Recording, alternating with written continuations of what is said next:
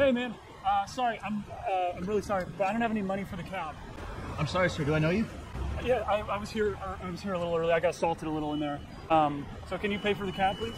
She was supposed to call, but maybe she didn't because there's an emergency uh, happening. Sir, And I'm sorry. I don't know who you are.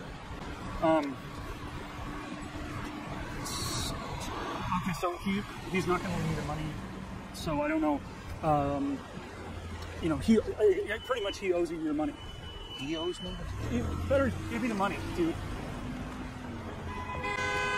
You need you guys need to work this out for yourselves because basically one of you guys hasn't got fourteen dollars. Okay.